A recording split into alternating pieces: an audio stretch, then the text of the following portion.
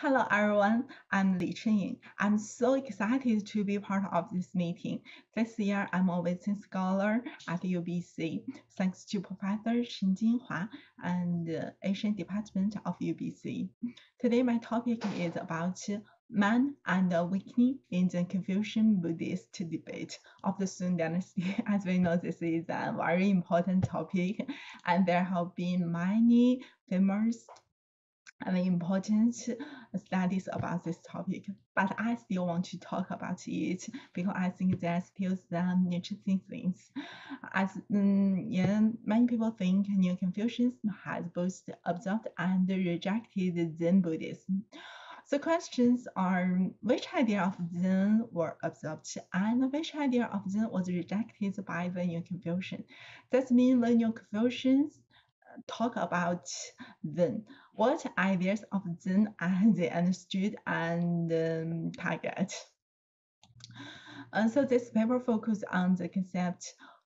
Man and awakening. Man and awakening are both important concepts of New Confucians and Buddhism. So in this picture, I want to find the difference between them, uh, especially the difference between awakening is Buddha nature and Zhi Ren. That means awakening is Ren in New Confucian.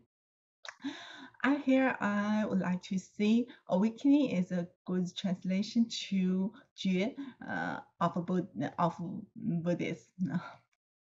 But awakening can translate Jue of New confusion. In New confusion, Jue has much more meanings,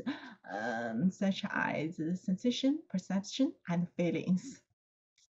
When Chen Hao said 知觉言人 we know Chen Hao means that we should feeling all the things in the world as one part of our body. That means 觉 is uh, feelings. 觉 is not awakening. So to express me clearly and correctly, I will I would like to talk this topic in Chinese the different stage of uh, the debate. 啊，the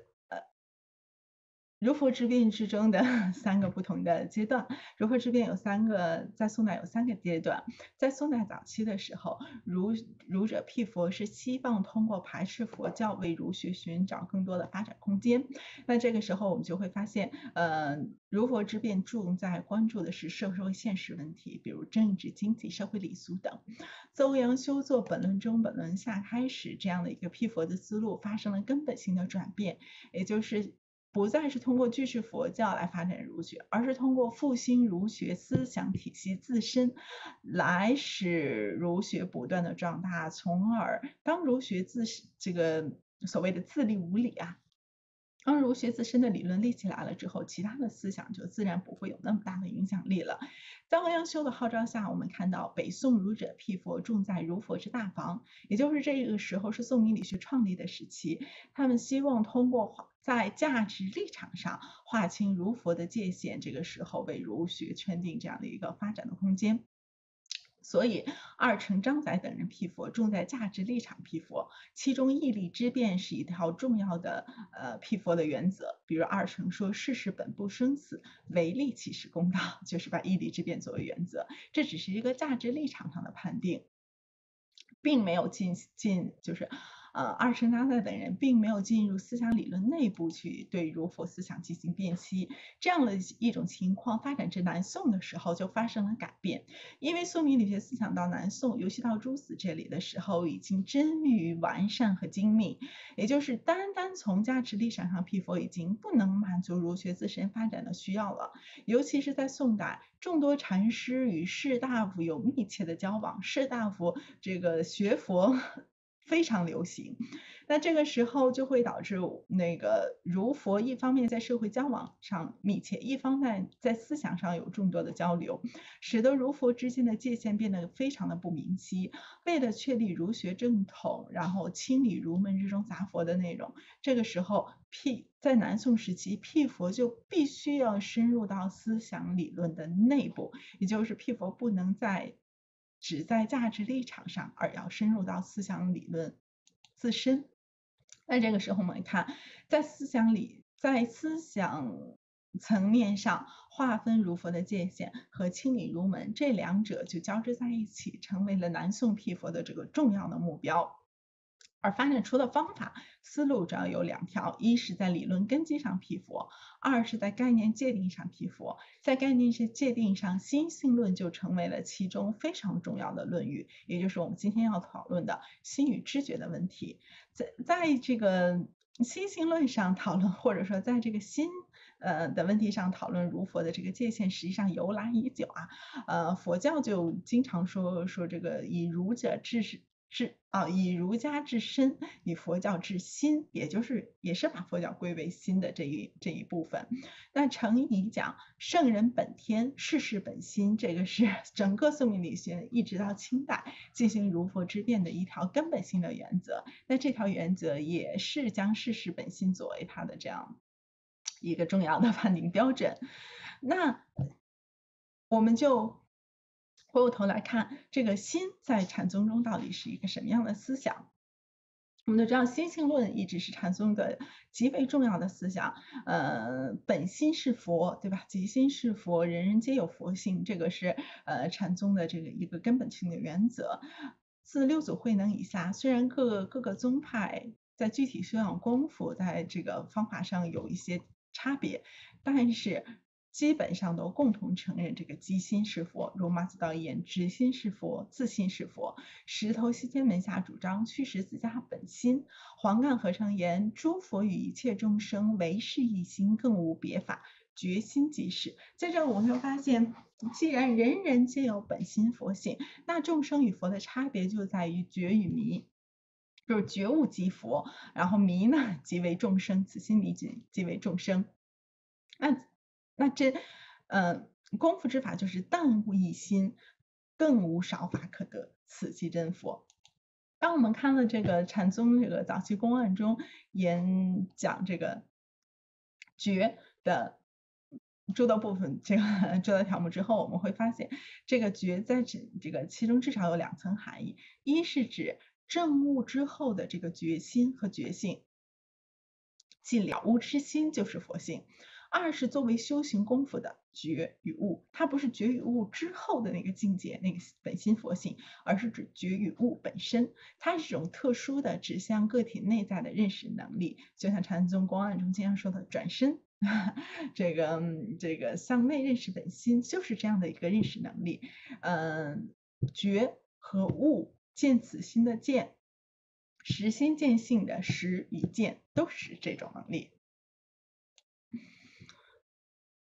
在禅宗早期公案中，我们会看到经常这个有问到说什么是祖师西来意，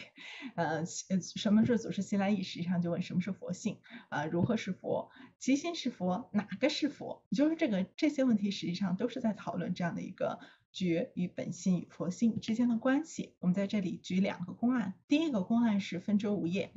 呃，分州无业禅师问如何是祖师西来密传心？什么是佛性？呃，马祖道师言说：“大德正道在，且取别时来。”当分州物业一脚跨出门线的时候，马祖道又说：“大德，呃，分州物业马上回头。”在回头的当下，马祖问：“是什么？”分州物业语下于此言下大悟。我们看这这这个公案的非极为巧妙之处，就是当马祖道师问是什么的时候，分州物业听到。马祖叫他，他当下回头，马祖问是什么？这时候是什么？至少包含了两个问题。第一个问题就是是什么？听到呼喊之后马上回头，这样的一个公案，我们在禅宗之中经常看到，就这个放鹤，大这个大喝一声，然后当下言下大悟，这个很常见。那还有前一个问题，分州物业最初问的，如何是祖师密西来密传心？就如何是佛性这个问题，在。他当下回头的时候，问非问己是什么？也就是这里既包含是什么当下回头，也包含了佛性是什么？就是当下使之回头，知觉到被这个知觉到被叫，然后当下回头，那即是你的本心，那就是佛性。也就是我们看在这里觉。本心和佛性这三者不再是一个是认识，一个是修行功夫，一个是修行功夫正得之后的境界，而是觉当下之觉悟就是本心，它就是佛性，三者形成了一个浑然无间的这样的关系。那，嗯，我们看另一则公案，是对这个问题可以看作是对这个问题的一个推进，而也是问到如何是佛，满是云说你的心就是，然后接着问如何保任，还是说你善护持，你就要善善护持本心，那又问如何是法，就是如何是佛法，当时说你就是你的心，然后我们看又回来了，然后接着又问如何是祖师意，就如何是佛，你最初的最开始那个问题说你的心就是，我们再看。当问及佛性的时候，是说你的心；问及如何保任它、保护它，什么是佛法的时候，还是你的心。也就是说，这里的心，它既是功夫，既是佛法，又是佛性。用儒家的话来说，就是它既是本体，又是功夫，也就是佛性心与知觉，不是与觉，在这里它是浑融无间的，本身既是本体。同时又是功夫，既是佛性，同时又是佛法。那这个时候，我们看这里觉就有了三层含义。第一层是作为修行功夫的觉和觉悟；第二种是作为觉悟之后正得的了悟之心本心佛性；第三种是由这两种用法进一步推出来的觉即佛性，对吧？觉即本心即佛性，也就是以觉言心。当下觉悟就是佛性，并非觉我之后而见本心佛性，而是觉本心佛性三者为一。那这三个层面分别对应了当儒家去当。以朱子为代表的儒家学者去理解禅宗的时候，他们去去辟佛的时候，针对的三个点，而是嗯，当朱子谈及觉、虚离明觉、虚心见实心见性、以心实心等问题的时候，他指向的是禅宗的第一种功夫，就是觉和觉悟。然后这个当朱子讲禅宗错认心为性、错失本体的时候，这个时候他指的是第二种用法，将。这个就称之为将觉悟理解为觉悟后正得的了悟之心，本心佛性。那朱子最严加防范和严厉批评的，实际上是第三种用法，就是以觉言心。在朱子看来，前两种如佛之间的交汇并不明显，也就是其实是。较为容易区分出来儒佛关系的，但是以觉言在以觉言心这一点上，这个他与以觉儒家的以觉言人是难以区分的，这是儒门杂禅流入佛学的一步重要的划转。呃，以谢良佐为代表的很多道这个宋明理学家，他们就是在这一点上流入了佛学，在这一点上他们的思想与禅宗难以区分。那我们来看一下儒家讲知觉言人的时候讲的是什么？儒家的知觉言人实际上是起自于程颢的。程颢与中医的手足麻痹为不仁讲仁，就是仁在的它的传统含义实际上是爱人。但是宋明理学的一个重要特点就是要为传统儒家的伦理学构建形式上的基础。在这个过程中，程颢就不单单以爱人来解释人，而是把。来自易经的“天地之大德曰生，远者善之长也”融入到对人的解释之中。这时候，人变成了一种天地所由天地所下贯之个体上的生生不息的能力，对吧？就这样的一种生命力。那这样的一种生生不息的能力，由万物创生，呃，不是由天地创生万物而万物而达到个体上的生生不息的能力，实际上就将整个天地间融为一体来记。万物一体，于是个体的这样的一种感知能力，既是来自于个体的生命力，同时又是来自于天地万物之整体。因为天地是一个大的整体，万物一体，所以个体在感受上，就像感受自身的手足一样，感受自己的身体一样，然后能够知觉无所不通的将整个世界感受为与自己相连的一体。那这个在这个过程中，我们就会发现。程颢的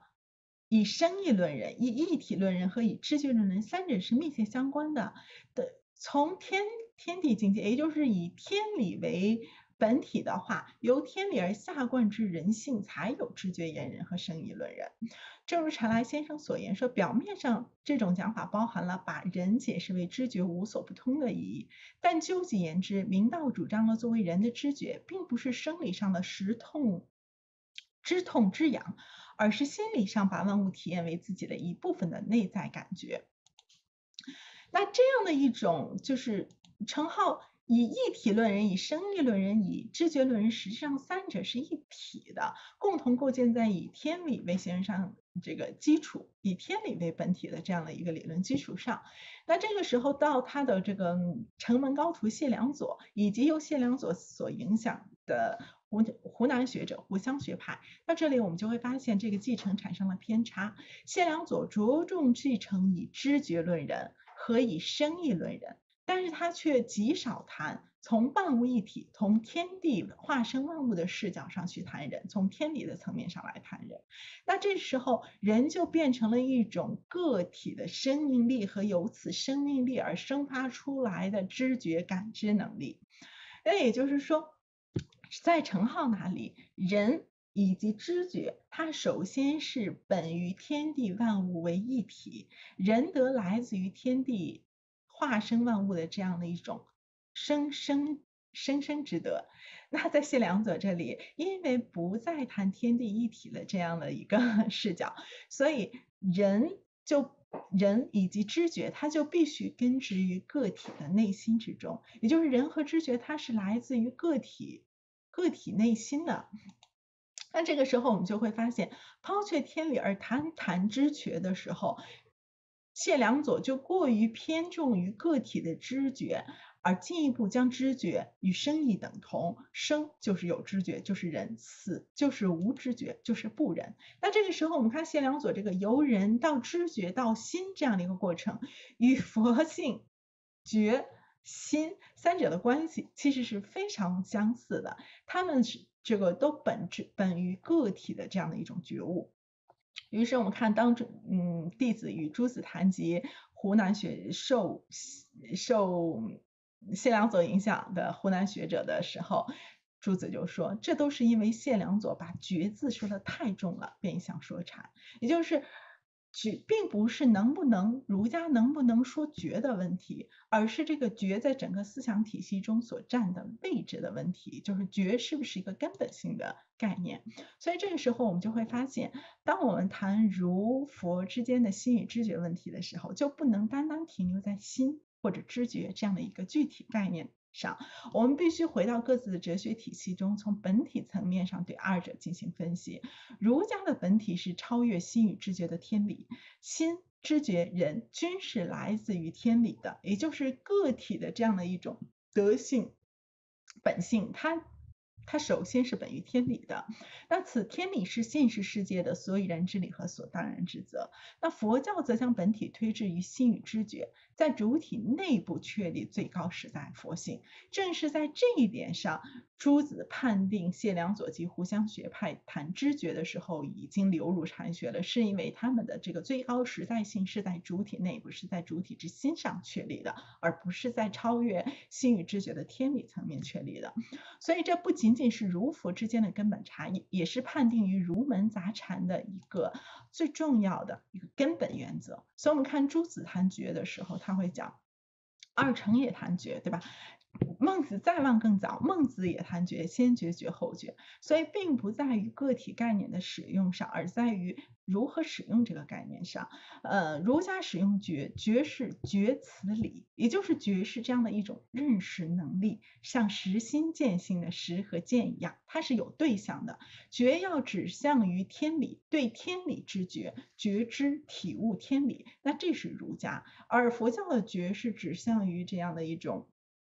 内心的顿悟，而这个顿悟，对，又继续向内，这个就是内心的这个顿悟，实际上就是你的本心佛性。在这里，他们二者之间是有这样的一个根本差别的。所以朱子说，仁者可以说仁者心有知觉，但不能说心有知觉就是仁了。也就是知觉是仁德的一个表现，但是知觉不是人的根本内容。人的根本内容是来自于天理的，它是由天理下贯至个体的这样的一个知觉能力。在这一点上，小川龙先生啊，我知道小川龙先生，我看到会议通知，他也来到我们这个会议了。小川龙先生这个观点，我认为非常非常的重要，就是他指出朱子朱熹对禅宗该思想的批评是，其实是针对那些轻视形而上本体，所谓一味的强调发挥身心上的生理作用的观点而言的这个确为理论。也就是在朱子看来，如佛之辩的根本分判点不在于具体的相似概念的使用或者相似比喻的使用上，而在于以何者为本体，是否有超越心与知觉的最高本体天理。若有，那对这这个是儒家思想；若没有，这个最高本体是指向内在的，那这个。朱子会认为你已经偏离儒家思想，流入禅学了。所以在这里，我们最后要强调一下，是否向上一提有超越心与知觉的最高本体天理，是儒佛的根本差异。当朱子在批判佛教的时候，在进行儒佛之辩的时候，他会在不同层面上这个指出禅。禅宗思想与儒家思想的这样的一个差别，很多人会认为朱子批判佛教的时候，或者说整个儒佛事变中，绝大多数儒家学者他并不懂禅宗，他是建立在对禅宗的一个误解基础上进行批评的，这个其实并不，嗯。就是并不太对，因为我们知道这个宋明理学家，大家都有出入儒佛的经历，大家都有学佛的经历。朱子也有一个非常长期的学佛的经历，后来由佛教转向儒家思想的。他们都阅读，尤其是朱子阅读过大量的呃佛教和禅宗的典籍。那这个时候，我们就会发现，他批判禅宗思想的时候，他批判禅宗思想的时候，所指向的并不是禅宗所有的思想，他所指向的是禅宗那些可能与儒家思想呃相似、难以区分、杂糅在一起的思想。所以在这个过程，我们会看儒佛之辩，在儒家看来。他所针对的佛教是有，就是他所针对的佛教的思想是有其这个特别的针对性的，尤其是在心性论上，因为这个是呃，哪怕在宋代起，很多人都认为心这个禅宗对儒学思想影响最重要的部分是在心性论上。但我们分析，当我们分析知觉与心的时候，我们会发现，儒家讲知觉言人的时候，它的来源是来源于中医和。易经、周易、周易的天地之大乐乐生下观到万物一体，到直觉言人的，它并不是来源于禅宗，所以这里仅仅是一个相似概念的使用。但是当这样的一种相似概念在思想发展的过程中的时候，我们会看到到城门高徒。谢良佐及胡湘学者，呃，后来的胡湘学者这里，我们就会看到这个这种本来来自于两个体系中思想概念，就是知觉言人和本心佛性这样的这个两套思想，他们在这里经过融汇之后，他们形成了一种杂糅，也就是呃，当谢良佐提出。知觉言人以及有受贤良佐影响的其他这个学者讲讲大谈知觉与人之间的关系的时候，这个时候就确实与禅宗的思想产生了交融，产生了相似之处。所以，呃，我们来看当。呃，儒家一贯坚持这个圣人本天和世事本心的时候，这个时候我们要知道，他们所谈的并不仅仅是心性论，他们所要谈的实际上是由一个本体层面所来看待或划分的儒佛这样的一个差别，必须从最高本体层面指示出来儒佛的差异，并这里并非是儒者不谈心，也并非是佛教不谈理，关键是以和为最高本体。好，这就是我论文的大概内容，谢谢大家。